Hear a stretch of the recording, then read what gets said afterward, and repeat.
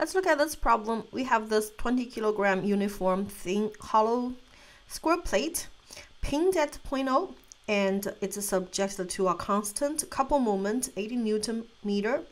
It is released from rest from this position and then it has rotated 45 degree um, counterclockwise and we need to determine at that moment what the angular velocity is. And we must use work and energy to solve this problem.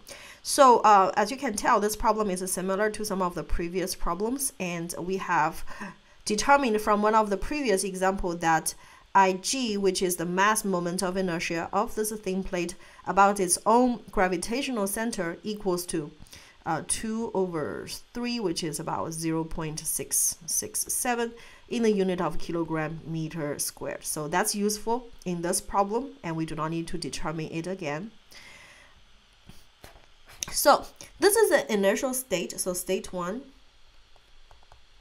Now let's draw a sketch of state 2, the final state. So at state 2, this um, plate has rotated counterclockwise by 45 degree, therefore it has moved to this position kind of like horizontal position.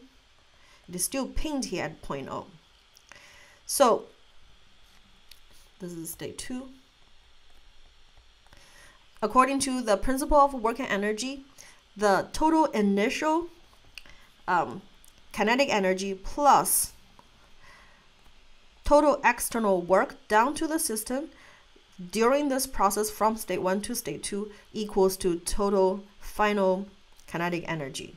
So in this case, because the plate is released from rest, therefore, this is a zero.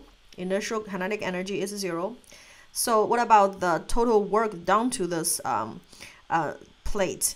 During this process from 1 to 2, uh, there's the gravitational force, the weight that did work, and this 80 newton meter uh, couple moment has done work as well.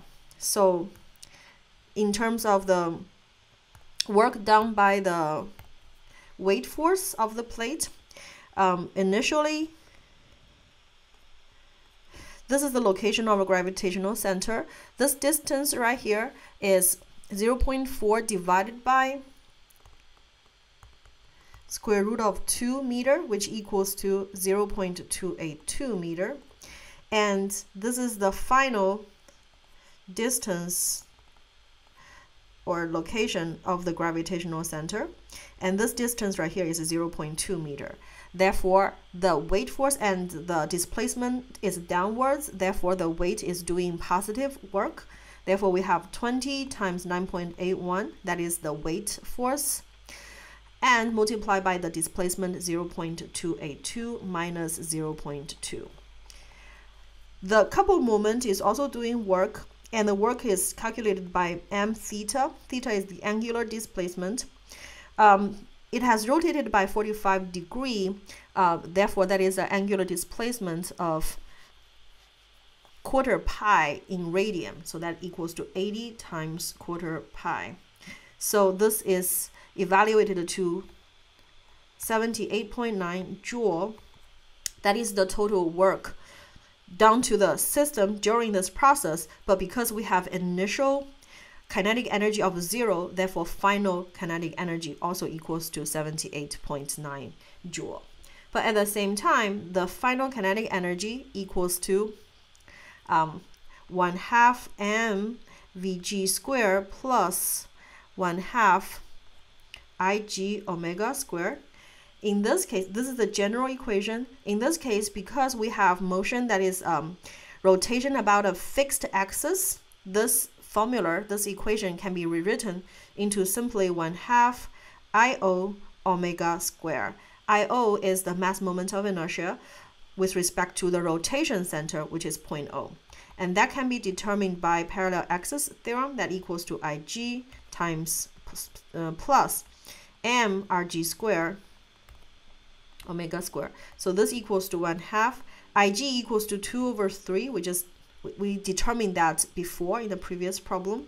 Mass is 20 kilogram. Rg is the this right here the distance from the gravitational center to the rotation center. And we just said that that equals to 0 0.4 over square root of 2 squared. So this part right here is IO times omega squared, and omega is our unknown. Therefore, on the left hand side, T2 equals to 78.9 joule. On the right hand side, we have um, 1 half times IO is evaluated to be 2.256 omega squared. So one equation, one unknown. From here, we can solve for omega to be 8.36 radian per second.